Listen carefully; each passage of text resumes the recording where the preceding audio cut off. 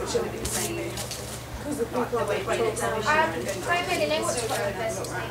You. Is it a little booklet. When you go together now, Okay, where? uh, students, just get the handout for the I'll highlight. Sorry?